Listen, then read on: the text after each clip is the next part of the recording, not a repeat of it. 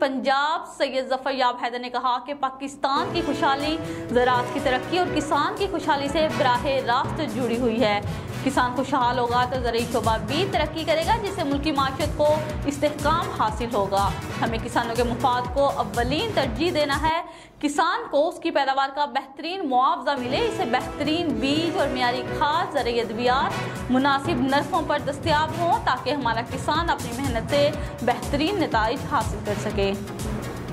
ان خیالات کا اظہار انہوں نے زراعت وسیع اوکاڑا کے زیر اہتمام چک نمبر چودہ ون اے ایل ضلع اوکاڑا میں فصل کپاس کی کاشت کے سلسلہ میں آگاہی سیمینار سے خطاب کرتے ہوئے کیا۔ تقریب میں کثیر تعداد میں شریک ہونے والے زمینداروں کو فصل کپاس کے بارے میں مختلف حکومتی منصوبوں کے بارے میں بھی آگاہی دی اور کھادوں پر دی جانے والی سبسڈی کے بارے میں بھی تفصیل سے بتایا۔ جی نیوز اپڈیٹس کے لیے دیکھتے رہیے سی وی اوکاڑا، ہمارے فیس بک اور یوٹیوب پیج کو لائک اور سبسکرائب کرنا مت بھولیے گا۔ اس کے ساتھ ہی مریم نعیم کو اجازت دیجیے۔ اللہ حافظ۔